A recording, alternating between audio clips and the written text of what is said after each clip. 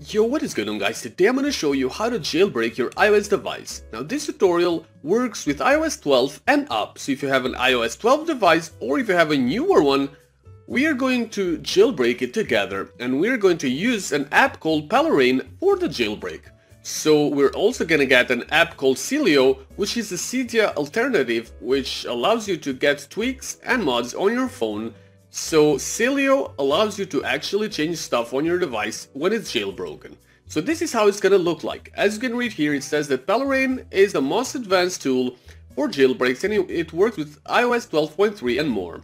Then you need to open your browser and go to bestjailbreaks.com. So bestjailbreaks.com is the website that you need to go and once you're here, let me show you how to download and install Palera1n on your phone and then we're gonna jailbreak it together. So you need to tap on it and then um, once you do tap on the blue button, you need to tap on allow. Once you tap on get it now, then you need to tap on allow and then close.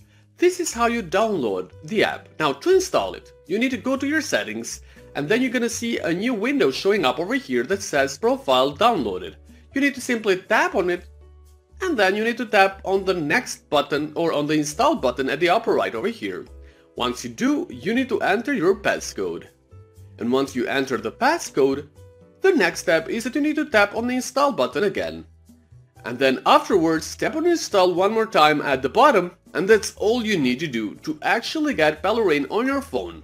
Now we're gonna use Palera1n to jailbreak this device and once it has been jailbroken, we're also gonna get an app called Sileo, which is an unofficial app store that allows you to get tweaks, themes for your phone, mods and way more. You can try it by yourself, but now I'm gonna go on and open Palera1n install, um, complete the jailbreak and then get uh, installed and then I'm going to tell you how to use Sileo. We are going to get a theme for this phone just to show you that it's fully working. But let's just start with the jailbreak. So once you open Palera1n, this is how it's going to look like. Once you're here, you need to tap on the jailbreak button at the bottom and that's going to start with the jailbreak. It's going to start jailbreaking your phone and as I said earlier, it's going to start installing Sileo on your device which is the app store that I showed told you earlier, which is gonna help us to get themes, tweaks and mods for our device. So here we are. Um, we can also get paid apps for free through Sileo. And here it is, we're almost done, and this is the last stage.